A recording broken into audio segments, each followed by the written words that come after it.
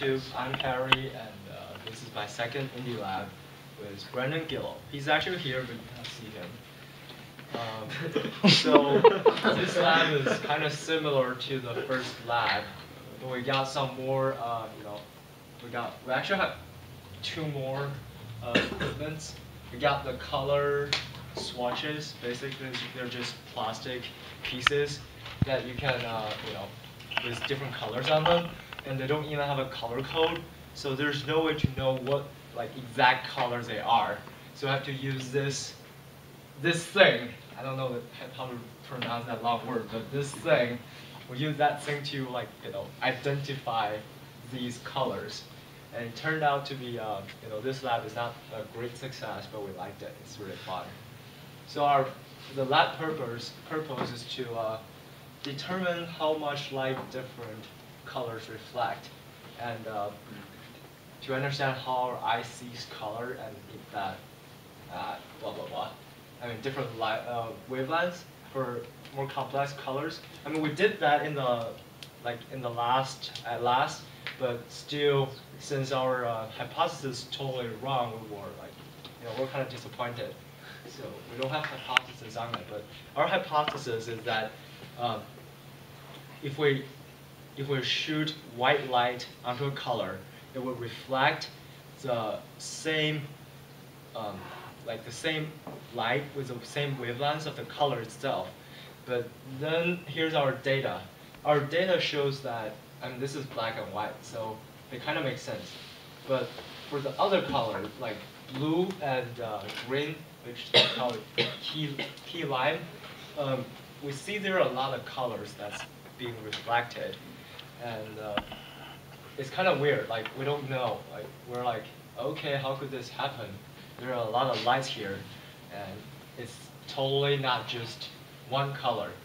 And we did more research, and then we realized, okay, so this color seems green, but it's actually not just green. It's blue and green, or this color, the iris, which is like purple, is purple and blue and green and red and orange. So they're all mixed up. Um, and then we came up with this idea. So basically all the color we see in our daily life are actually mi uh, mixture of multiple wavelengths. And yeah, that's it. Please and our setup was, uh, so this is this was our setup. So we had uh, a white light source here, flashing towards the the color swatch, and then we have another light sensor here. So we know the the light intensity of the reflection light, and then we also have the uh, how do you call that thing again? The the thing that tells you like the different wavelengths. Spectrophotometer. Spectral what? Spectrophotometer. Spectrophotometer. Mhm. Yeah, we also have a thing like that here, which is a big box connected to the computer. And yeah, that's how we collect our data. And we always keep the like keep the setup in a dark room so there's no distraction. Oh yeah, and this is the fun part. So uh, just keep your eye on this. Do not blink. just look at it for like 30 seconds. I'll try to turn this on.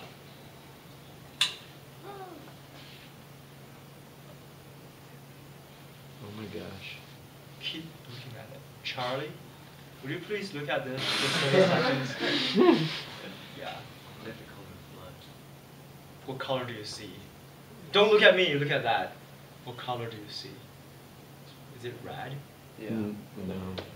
Is this like super bright now? Super bright. Yeah. Does it like hurt? Yes.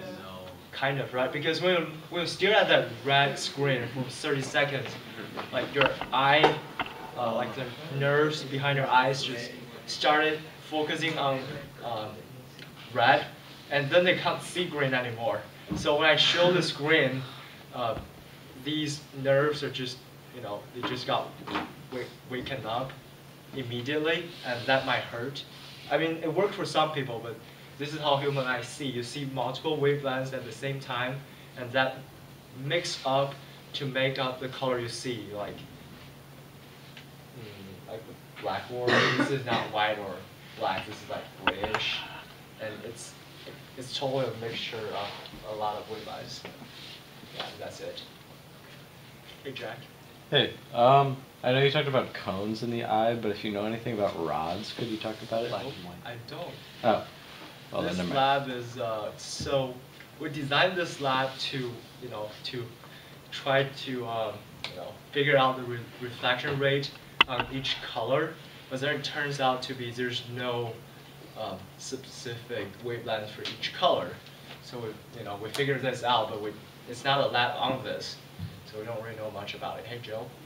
So, are you saying that the nerves in your eyes are at every moment performing performing like really complicated Fourier transforms on all the waves that you see, and like Uh, interpreting them as different colors? I don't think they're doing the, the complicated part, but I think your brain is doing that by you know collecting data. I, I don't know. It's not a lab about. It's not a lab on your brain. It's actually a lab on colors.